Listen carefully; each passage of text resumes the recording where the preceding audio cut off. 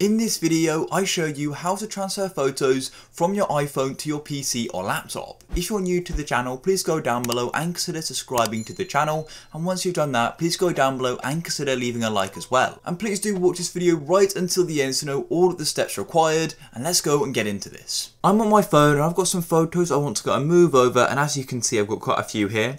So all you want to do is come off of your photos and you want to go to the App Store and all you want to do is come to the search option and you want to go and download something called Google Drive. So Google Drive is something called cloud storage, which basically means that we can go and upload photos from our phone into the storage and then we can go and access them on our laptop or computer and I'll show you exactly how to do that. So all you want to do is go and download Google Drive. I've already got it and then you want to go and click open.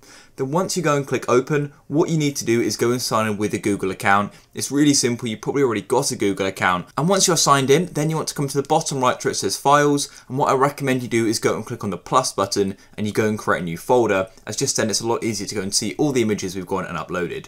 So click folder just like so, and then you can go and name it. I'm going to name this iPhone tutorial just like so, and go and click create.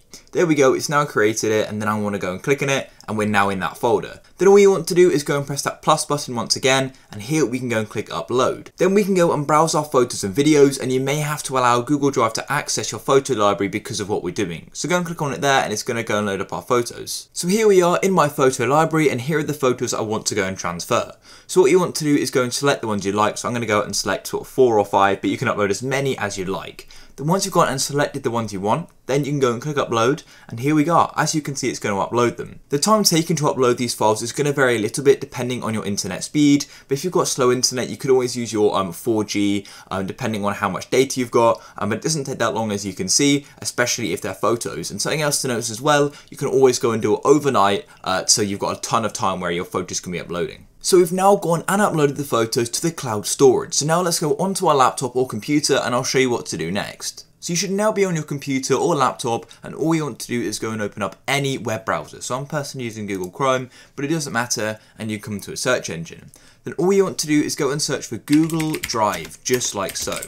So go and press enter. And when you go and click onto the Google Drive, you may need to go and change your Google account or go and log in and ensure you go and log into the same account as you logged in on your phone as those photos you uploaded are on that account. So they need to be exactly the same. Now all you want to do is go and click on the folder you created. So as you can see, I went and created iPhone tutorial. So go and double click here and here are all of the photos. So then all you need to do is come up to this top you've got iPhone tutorial and click on this drop down option here and as you can see, there is a download button. So go and click download just like so.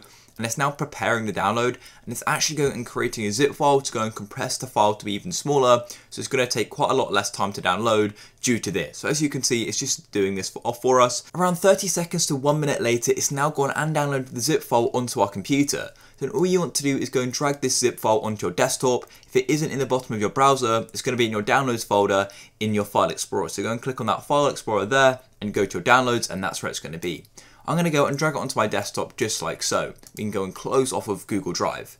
Then all you want to do is go and double click on the file and here we're going to have another folder called iPhone tutorial, which you can go and drag out if you'd like, or you can go and open it up in here. Go and open up the folder we just went and dragged out of the zip folder, which is called iPhone tutorial in my case. So I'm going to go and double click on it, and here we go. So as you can see, these all files end in HEIC, which is the type of format Apple use. Most types of Windows computers won't be able to go and open up these files unless we go and download a certain extension, but in this case I found a way around this. So all you want to do is go back to web browser and I recommend just going googling something like HEIC to JPEG or PNG, then go and click on it just like so.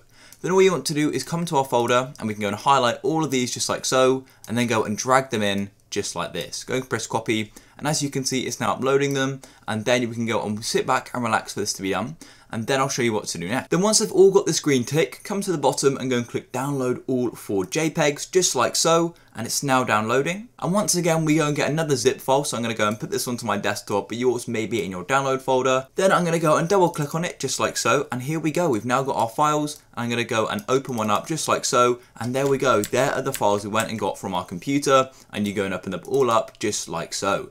If you found this video useful, please go down below and consider subscribing to the channel. Leave a like for more. Peace.